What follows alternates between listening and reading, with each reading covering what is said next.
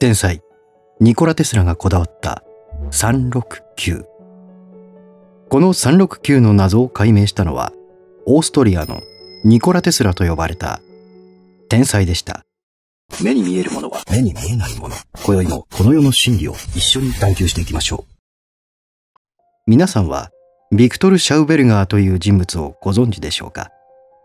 オーストリアのニコラ・テスラとも水のニコラ・テスラとも称される天才科学者。今回はビクトル・シャウベルガーの紹介とテスラのアイディアであるフリーエネルギーと369という数字の謎を考察したいと思います。2人の大天才が求めたフリーエネルギーそして369の謎とはどのようなものだったのか。早速見ていくことにしましょう。テスラよりも先に369という数字に着目した天才発明家ジョン・キーリー。ニコラ・テスラを語る上で欠かせないのが彼は3という数字に異常なこだわりを見せていたこと。例えばテスラはホテルに入る前には必ずホテルの周辺を3回回るとかルームナンバーは必ず3で割り切れる数字でなければ宿泊しなかったという逸話があります。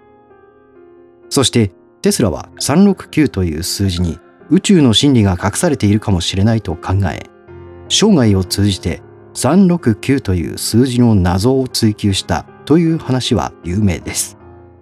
ではテスラ以外に369という数字に特別な意味を見出した者はいなかったのか？実はテスラよりも先に369という数字に着目したアメリカ人がいました。ジョン・エルンスト・ウォレル・キーリー。という発明家がテスラよりも先に369という数字に宇宙の真理が隠されていることに気づいていたといいます。このキーリーという人物。日本では知られておらず本国アメリカでもその経歴についてはほとんど語られていません。それもそのはず。なぜならアメリカでのキーリーの評判は詐欺師という扱いなのですから。キーリーはテスラのライバルでもあったエジソンと同時代に活躍した人物で水と空気から作られる原子間エーテルという新しい動力理論を提唱。この理論が正しければフリーエネルギーの開発に成功したと言えるほど画期的な理論でした。そして原子間エーテルを動力源とした様々な発明品を世に販売したのですが正常に作動しなかったため投資家たちから訴訟を起こされました。最終的には手の込んだ詐欺の証拠が見つかったため彼は詐欺師と呼ばれるようになったのです。とはいえフィラデルフィアにある権威ある科学研究機関であるフランクリン研究所の調査ではこんな報告結果が出ています。今まで知られていなかったエネルギーの存在をキーリーは完全に証明した。つまり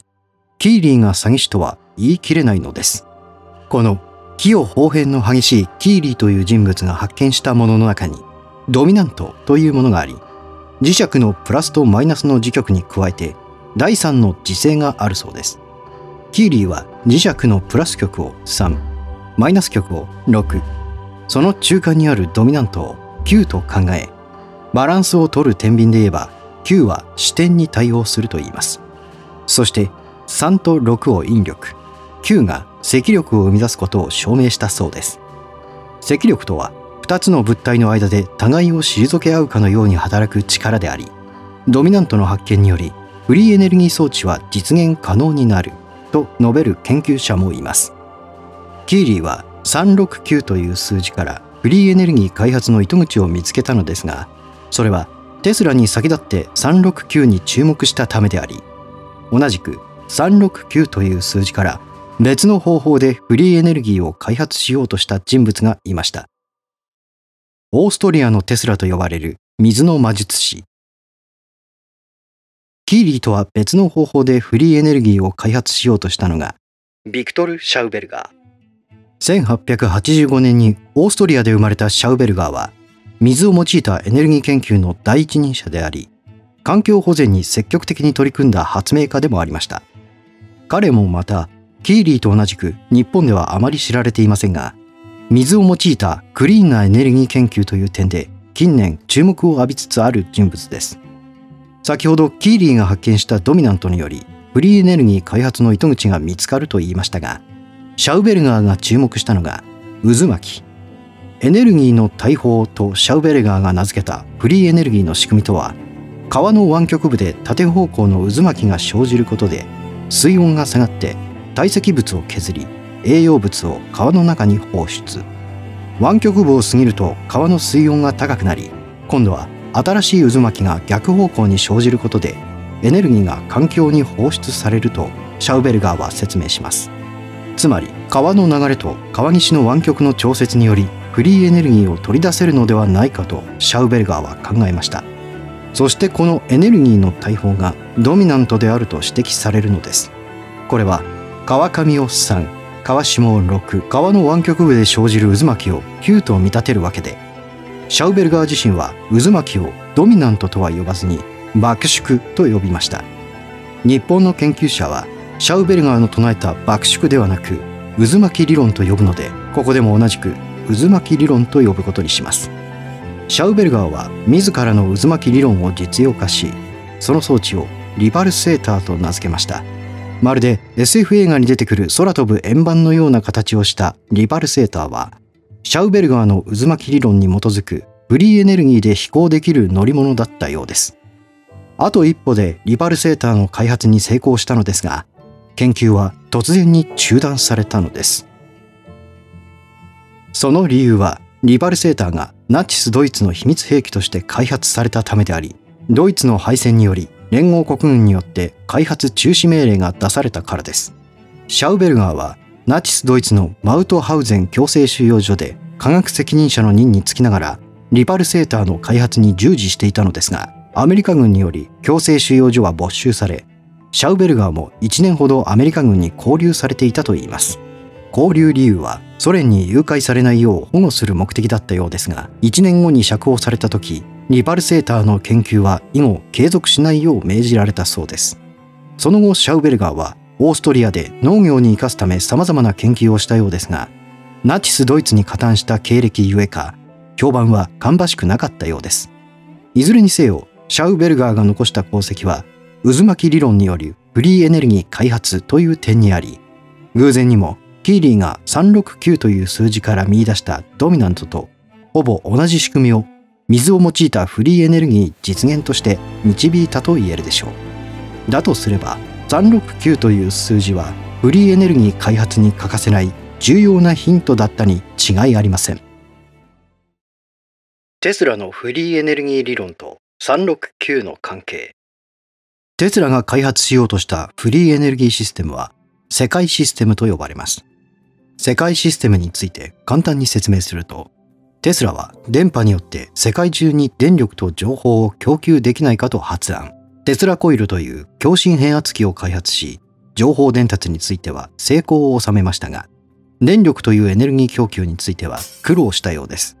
しかし、世紀の天才であるテスラは、地球自体が巨大な帯電体であることを証明し、地球を媒体とする送電システムのアイデアを考え出しました。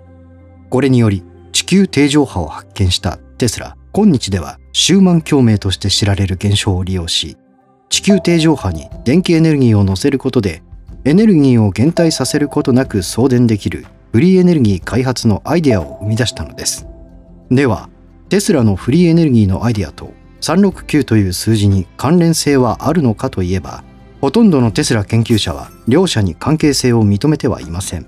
しかしテスラのフリーエネルギーのアイデアと369という数字には関連性があった可能性が浮上してきました。これはほとんど知られていない情報ですが、ドミナントを発見したキーリーが自身のドミナント理論の調査を1895年に世界中の著名な物理学者に依頼したのです。